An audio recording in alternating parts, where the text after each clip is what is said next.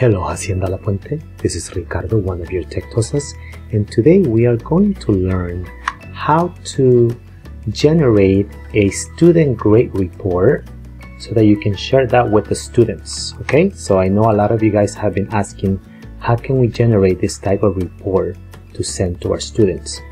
Currently, there is nothing in Canvas that allows us to do this. I mean, you could do it individually if you went to the student in Gradebook and you went to their grades okay?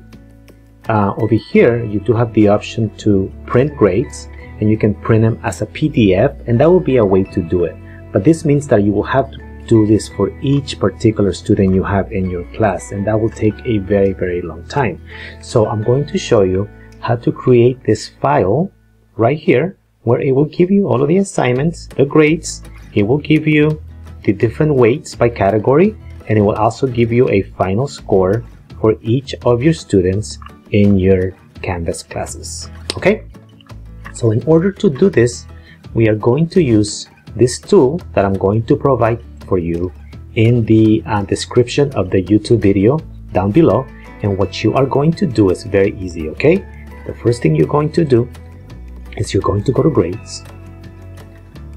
Okay, when you are here and you have all of your grades for your kids, you are going to go to Actions, you are going to Export, and then go ahead and save it under Downloads or maybe on your desktop, somewhere where you can find it, okay? I already have downloaded this right here, so let me just save it as the same name, and I'm gonna say that I wanna replace it, okay? So now I have it.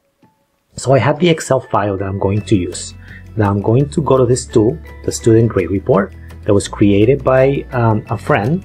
And what you want to do is you want to choose the CSV file. Okay, I'm going to just go and pick it.